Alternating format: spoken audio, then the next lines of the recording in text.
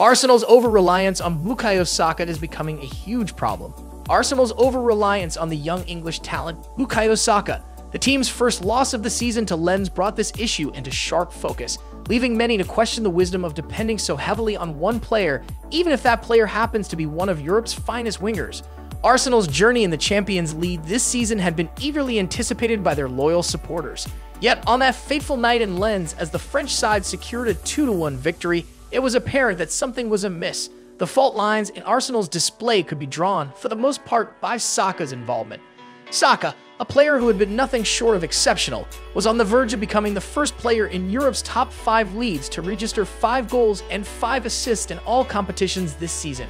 His contribution to the team cannot be overstated, and it is precisely this reliance on him that Arsenal must address urgently. Before the Lens encounter, Saka had started every single game for Arsenal this season playing a staggering 683 minutes out of a possible 720 in a Premier League and Champions League.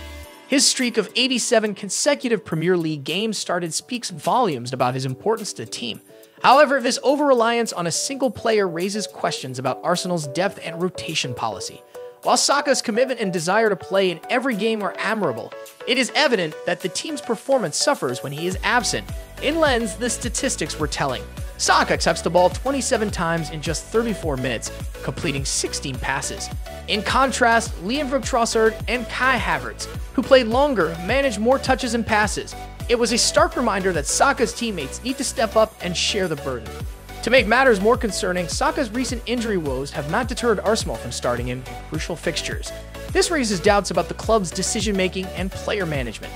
Arteta, Arsenal's manager, explained that Saka's latest injury was caused by a back heel an unfortunate incident that can happen to any player. Still, given Saka's recent fitness issues and the impending clash against Premier League champions Manchester City, the decision to start him must be questioned.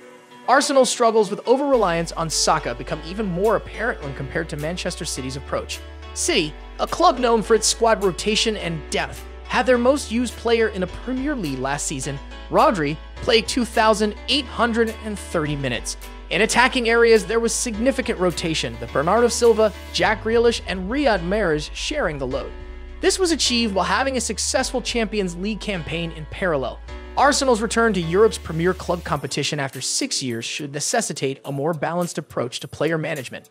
The Lens defeat, though setback, is not the end of the world for Arsenal. Topping their Champions League group remains a realistic goal.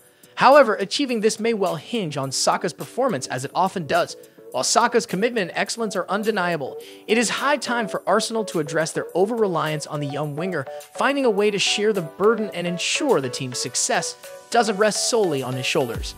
In conclusion, Arsenal's journey in the Champions League is a fascinating story, but it comes with a significant challenge. The over reliance on Bukayo Saka is an issue that needs immediate attention. While Saka's dedication and skill are undeniable, Arsenal must find a way to prevent their fortunes from being solely tied to the young Englishman. Only then can they hope to compete at the highest level and tackle the giants of European football.